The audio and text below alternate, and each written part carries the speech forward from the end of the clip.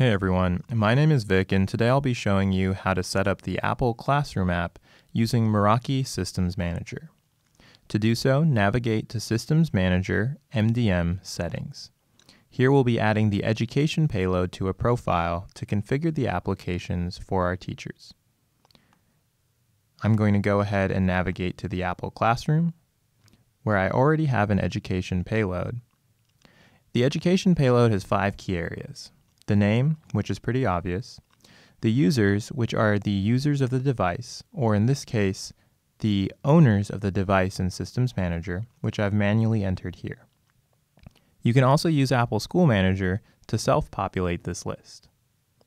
The next section is optional, known as device groups, and allows you to put a name to a list of serial numbers for the devices in the class.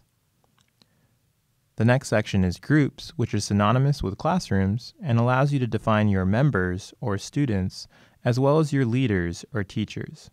These names are taken from the user list we defined above.